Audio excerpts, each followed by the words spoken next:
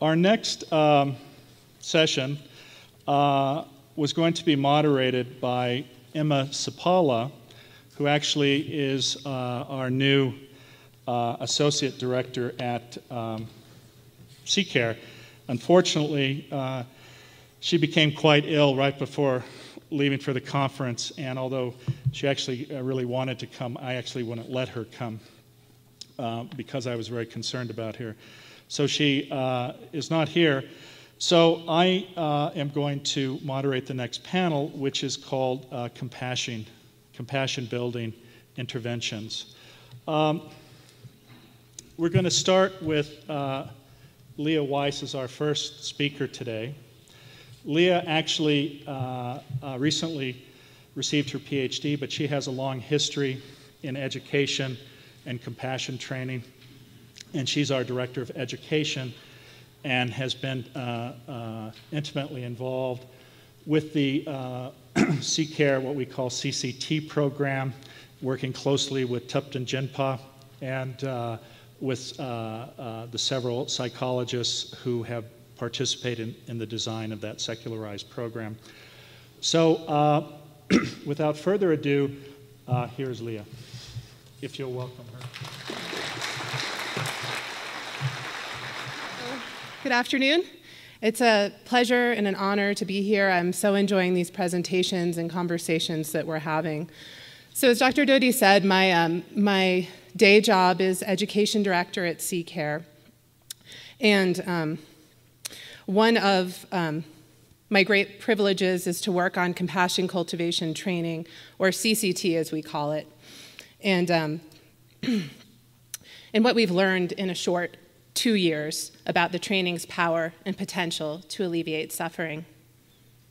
At CCARE, we conduct research and provide trainings that will get us closer to a compassion driven world by drawing on the disciplines of neuroscience, psychology, economics, and contemplative traditions. And one project we're very excited about that's showing great promise is the Compassion Cultivation Training, which is developed by Thupten Jinpa in conversation with a really incredible interdisciplinary team of researchers. These are some of Thupten Jinpa's words about CCT and its primary aims. What CCT aims to do is to, pay, is to make people become more aware and more connected with their compassionate nature so that their instinctive response to a given situation will come from that compassionate, understanding standpoint rather than negative, excessive judgment. So, to be more aware and connected to our compassionate nature and avoid negative responses. So, you see in this, in this um, statement, we acknowledge the innate nature of compassion, but also the lived experience we have as individuals and collectives that we're not always coming from a place of compassion, even despite our best intentions. So I won't get too much into the question of what is compassion other than to provide a, a, working definition for my presentation. We'll be having throughout the weekend a lot of discourse around what compassion is and how it can be measured. But for this purpose, recognizing suffering, feeling concern and connection, a desire to relieve suffering, and a willingness to act. So, CCT is intended to help people engage with suffering and increase their capacity to draw on compassion rather than diverge off into other potential responses, such as apathy, emotional overwhelm, judgment, to name a few of the other options that we have when we encounter suffering. So CCT is organized into an eight-week training. Um, two hour sessions once a week is the general program. We start with mindfulness and settling the mind, and then move on to compassion for a loved one, someone that it's easy to feel a sense of connection to. And then we turn that inward, we turn that towards ourself. And self compassion, loving kindness for self, is really the crux of. Um, the matter, this relationship between self compassion and extending compassion, is something we spend a lot of time exploring. Then we move on to focusing on shared common humanity, this principle that can maybe best be summarized as just like me, engaging with other people from that perspective. And then we move on to focusing our compassion in widening circles. So, compassion for people who are close to us, strangers, and then more difficult, challenging people. From there, we move on to actively taking on suffering, so engaging with suffering, right, part of compassion, and transforming it and sending out relief from suffering. And it culminates in an integrated compassion um, practice. So, one thing to say um, sometimes, I think when we talk about CCT, um, because meditation is a core element of it, it might eclipse the fact that there's other aspects of the training psychoeducation, a lot of dyad work. So, I was very interested this morning to hear about some of the implications um, of, of dyad um, exchanges in, in engaging um, with evoking compassion, a lot of uh, group discussion. Um, so, trying to engage the whole person in this process of cultivating compassion. So, I want to briefly touch on um, two areas where we've um, been measuring and working with CCT. The first is a randomized control trial that was run out of Stanford. And the second is, um, is to give a little bit of a framework around two training cycles we've done with veterans at the residential PTSD unit at the Palo Alto VA system. We've also taught CCT at Sharp Healthcare, Cancer Support Networks, public classes at Stanford and Berkeley to Stanford undergraduates, CEU workshops in healthcare settings, and soon with teachers of K 12. But to focus back in on the research now. So, in the initial trial, 100 adults were recruited from local communities. 60 were assigned to the training, compassion training, and 40 were assigned to a control group on a wait list. The average age of the participants was the, in mid 40s. The majority of the participants were Caucasian, and the majority were also women of those who participated in CCT. In terms of results, um, we used measures, these are two of the measures that were used, and there's, there's a lot of other um, stuff to speak about, but fear of compassion scale and uh, Dr. Neff, who's here with us this weekend, um, her self compassion scale were two of the measures that we used. And what was found is that CCT significantly increased compassion for others, receiving capacity to receive compassion from others, and also self compassion. So, all three of these aspects of of compassion were, um, were influenced by the training. And this is just a chart to demonstrate the compassion for oneself, for others, and from others were all increased. So the results indicate to us that individuals can, in fact, become trained to become more aware of and connected to their compassionate nature and to have the capacity to demonstrate that in a measurable way over a period of, of eight weeks. So now I'd like to turn our attention to the VA trainings. Uh, we are seeing encouraging results in the trainings we have conducted with groups of military veterans at the PTSD residential unit in Menlo Park, part of the Palo Alto VA system. Now, this residential unit brings people from um, a variety of geographical locations. It's a magnet. People get sent to this residential treatment program, which does influence the nature of the population. Um, more could be said about that, and perhaps best by a, um, one of our participants, the, the director of, the, of that unit is here, so maybe, I'll, maybe she'll come into the conversation later. Um, we adapted the trainings in this context from their eight week, once a week format to be compressed into twice a week to um, overlap with the men's length of stay, because the eight weeks long duration wouldn't have worked. And so there was some accompanying adaptations that we did in this setting. Um, the men had the option to do group meditation practice in the morning, whereas people taking the public class go home and use guided meditation CDs. Um, and the whole course was more compressed.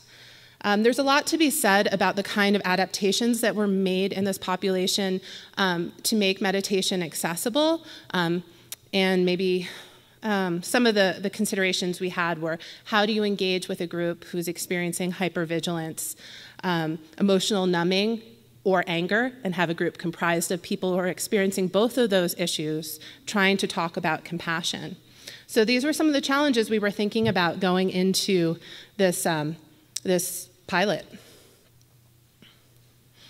So here's a few of the men who've gone through the training. And in the far back, you can see Dr. Jim Hallenbeck, who's a, a co teacher with me, and he's um, been a physician in the VA for about as long as I've been alive. He's also on the School of Medicine staff at Stanford. Um, so I just want to interject uh, before I get on to more about what we found that from my perspective, working with these men has been one of the most humbling experiences of my life. Um, seeing the challenges that they face in their day to day experience was just incredible when coupled with the courage it took for them to engage with confronting their fears in this immediate of a way, sitting in, with their own mind, engaging with meditation, engaging with challenging propositions like self compassion, you know, given their history. So it was, it was quite an incredible experience from our perspective as teachers. Um, now, what I want to turn to is after we completed the first two rounds of trainings, we did in depth interviews, one hour interviews with the participants, with nine of the participants, and two of the clinicians who had sat in on all of the trainings and participated in this, um, in this unfolding. So, I want to share some of their observations with you now. First, a little bit about the demographics of the men. Three of them were in their 60s, so Vietnam era vets, four in their 50s, one in their 40s, and one in their 30s. And this is the group that we interviewed now. There were some, there were other people who took the course. We interviewed three Latino men and, one, and six white men. So, as I mentioned, when these men volunteered for the compassion training group, they'd been struggling with enormous emotional and psychological challenges, including self hatred, self blame, uh, which are clustered under moral injury um, in, in terms of the mental health rhetoric, um, undeservingness of, of happiness, um, just head noise, a lot of chaos in their head, reliving experiences. A lot of them have constant ringing in their ears, numbing, isolation, hypervigilance. Um, this kind of thing was, was what was in the room. Here are a couple of quotes from the men themselves about their stressors. I have no self worth and a lot of hatred for myself for, for what I've done in the military, taking lives and causing loss of lives. In another, I just don't have compassion for anyone. I mean, even when my wife had cancer, I was just numb to it. Like I had no empathy, even to that. The vets definitely had some early skepticism about the training and the whole idea of CCT as a tool that could help them.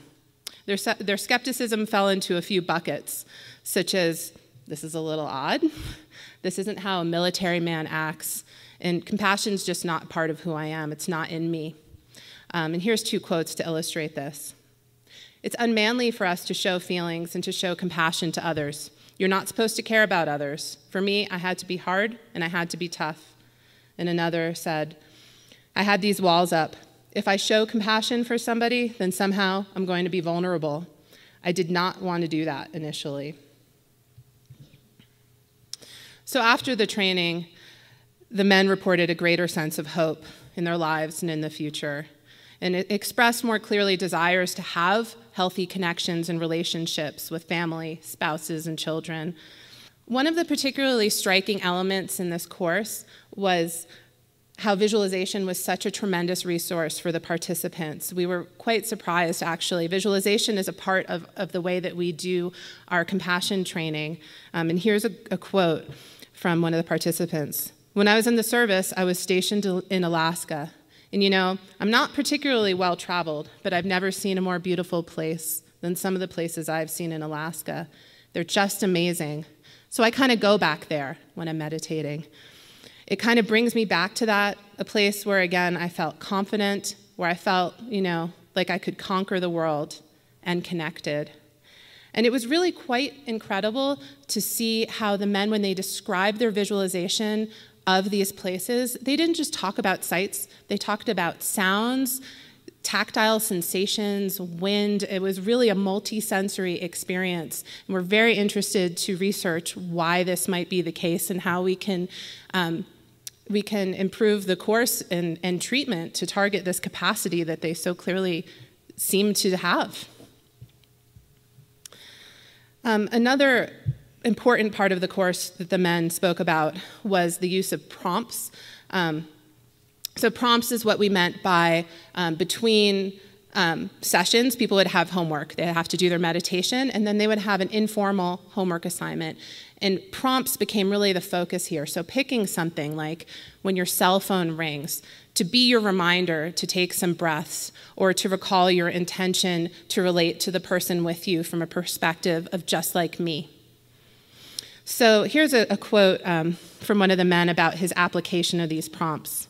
One of the things that I struggle with being out in the public and being out in crowds. Those prompts and the meditation would help me lower my anxiety. We went to a ball game a couple weeks ago at AT&T Park. For me, that was really stressful. It was scary and stressful. When I used the prompts and the meditation, I was able to get rid of some of that anxiety. I was able to enjoy the ball game. We were interested in how CCT would interface with the men's capacity for compassion for themselves and for others. And I can say unequivocally that self compassion was the most challenging aspect of the course, um, the one that met the most strong resistance, and probably um, you know, the pivot point for their experience, um, coupled with the common humanity, just like me kind of approach. So here's one man's statement. I was able to turn loose a lot of my hatred I have for a gentleman that I am a neighbor to. I found myself contemplating ways of killing him, which is what led him into residential treatment, actually expressing homicidal ideation. I've now lost all of that hatred. I've learned through the tapes and having compassion for myself and having compassion for others and releasing some of that anger and hatred and hate that's only hurting me, not him. And it, it was an exceptional story to hear from, from this man how the meditation transformed his uh, experience. Signs of self forgiveness. I realize it's time to let some of that hatred go for myself. I never would have been there at war on my own, but I got put there and I did what I was told to do. I just realized, you know, it's not all my fault. So, in the interviews, men also expressed inspiring confidence and excitement about getting on with their lives and not falling back into their darkness expressed a confidence about carrying this forward, but also a, a fear of losing, dropping tools, and returning back into the mental states they had come out of. And I'll move towards conclusion by presenting clinicians' um, views. So, the experiences that the men described to us and their progress was also reflected in, in the clinician's perspective on, on the groups. To these guys and to us, those are huge shifts. And I think those kinds of shifts were evident in the group. People having the desire to reconnect with loved ones in a different way, having a desire to not fly off the handle at the annoying person in the grocery store in front of them in line. I mean, using those people as prompts, which was what was talked about in the group, I think was really incredible. And it seemed that through this training that the men actually became leaders in their, in their community. And here's a quote expressing that. In heated kinds of community exchanges, sometimes, it seemed like the guys who'd been in CCARE were the voice of reason, able to be much more collected and reflective on the process. That's huge and will have huge implications for their marriages, for their relationships at work, and with family and friends. I want to close with an image. This is the garden that the men planted and care for outside the building where they stay and where we met beautiful, right? At this point in our work, we're very encouraged by CCT and the early impact it's having on participants. We believe that this training can be applied to and have impact on trauma and suffering in a wide range of areas healthcare and education, in the work environment, in family systems, and more. As I said in the opening, we fundamentally believe that CCT can be a powerful source for creating a happier and more joyful world for everyone. Much gratitude to Dr. Doty Thupten Jinpa and the PTSD unit the VA for working with us. Thanks so much.